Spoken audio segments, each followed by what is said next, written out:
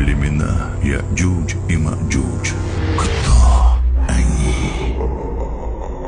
Яджудж и Маджудж. Библейские Гог и Магог.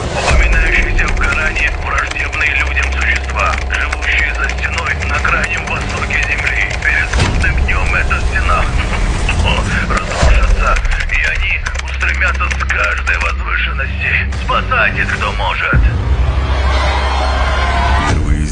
Пройдут через Тивериадское озеро и выпьют ее воду. А когда пройдут последние, они скажут Когда-то здесь была вода. Где она? Где она? Где? А теперь вдумайтесь, как их много. Яджудж и Маджудж будут идти по миру, пока не достигнут горы Аль-Хамар. И эта гора Байт-Аль-Магдис, Иерусалим.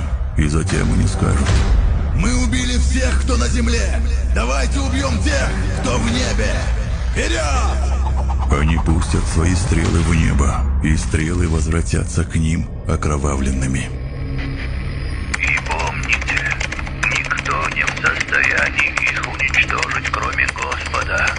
И когда придет час, они будут уничтожены, как один за раз.